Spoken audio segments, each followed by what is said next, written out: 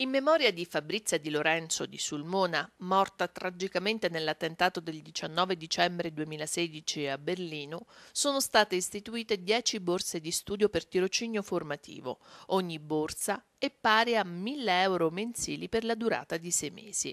La scadenza della presentazione delle domande per le borse è fissata per il prossimo 30 giugno. Possono partecipare alla gara per le borse i laureati e laureandi dei corsi di studio dell'Università dell'Aquila che si occupino di tecniche della prevenzione dell'ambiente nei luoghi di lavoro, ingegneria civile e ambientale, ingegneria industriale, lettere, mediazione linguistica e culturale, scienze biologiche, operatore giuridico d'impresa, scienze e tecnologie chimiche dei materiali, informatica, matematica, ingegneria edile di architettura, biologia della salute e della nutrizione, ingegneria chimica, ingegneria delle telecomunicazioni, ingegneria elettrica, elettronica, gestionale, informatica e poi ancora ingegneria della matematica, amministrazione, economia e finanza.